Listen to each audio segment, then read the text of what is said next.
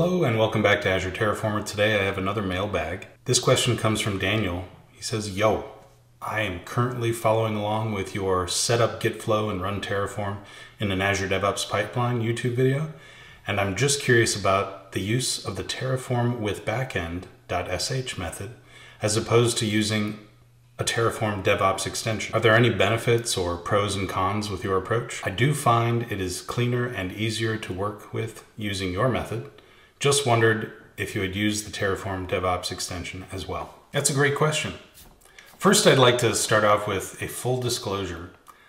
My approach here may be influenced by my background. Before I joined Microsoft, I used to be a consultant, which meant I went from customer to customer and often customers would dictate what DevOps pipeline tool that we were going to use. This meant that when we used automation on projects, we were continuously kind of re rejiggering how to get Terraform up and running to automate all the things. And so basically, you know, after running into a couple of different customers that had different tools and different approaches, um, I found that just dropping into good old fashioned bash was the most portable way of reusing the same assets from customer to customer uh, because there was absolutely no pipeline native yuck that I was using.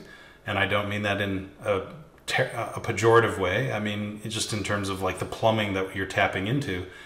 A pipeline tool is a pipeline tool is a pipeline tool. It can, I'm pretty sure they can all run bash, right?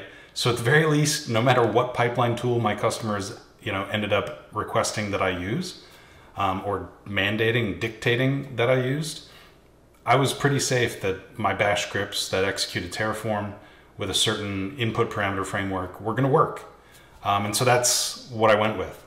Um, I'm definitely well aware of the tasks that are, I think there are a third party, there's a whole bunch of different tasks written by some third party developers originally uh, before they became there became like a first party you know kind of task um, to do the job um, and uh, I have used those in the past I've used them both in the GUI using um, you know release pipelines and kind of classic Azure DevOps pipelines way back in the day um, and I've used them in YAML pipelines um, and and actually I used them for quite a long time until I got into a situation where there was a bug, you know, with the task and it wouldn't do what I wanted it to do.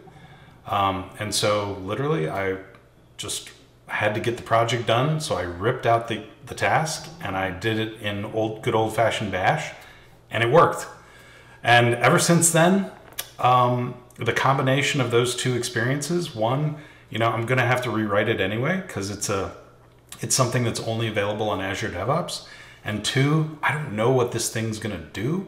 Um, I, if I can't rely on that um, and I and it's out of my control for something as absolutely basic as just executing Terraform, I don't see I don't see the value um, in, in encapsulating that into some black box that I don't have control over.